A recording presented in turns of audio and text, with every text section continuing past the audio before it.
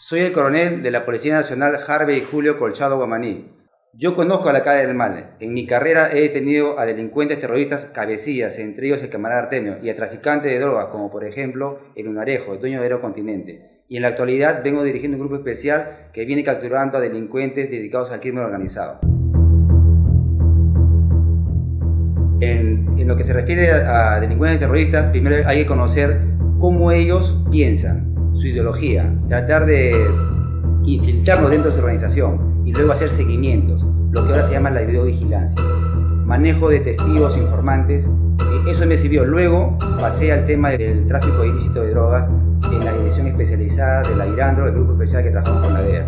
Ahí más tecnología, escuchas legales, escuchas radiales, de celular, de radio, toda esa experiencia, ese cúmulo de experiencia que hemos aprendido en estos 20 años, en la actualidad lo hemos trasladado a lo que es crimen organizado.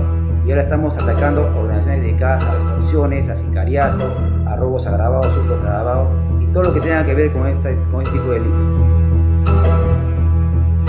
No le tengo miedo yo a los delincuentes. Qué mejor que estar en el sistema que ver crimen organizado, de saber qué está haciendo un delincuente, un terrorista, un, un traficante.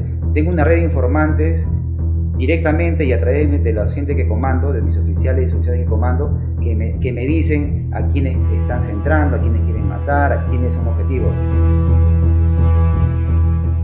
yo soy agente de inteligencia desde, desde desde que egresé de la escuela, y en realidad es un tema muy sacrificado. Dejas muchas horas de, de, sueño, dejas a tu familia. Yo he viajado por varias partes del Perú.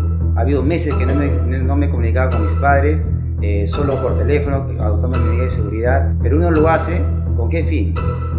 Con el fin de que la ciudadanía esté tranquila con el fin de levantar la imagen de la policía. Es un sacrificio. Yo lo único que quiero de acá a un tiempo, bajar los índices de inseguridad ciudadana que existe y dar a mi familia, a mis hijos, a, a, a todos un país más tranquilo, de paz.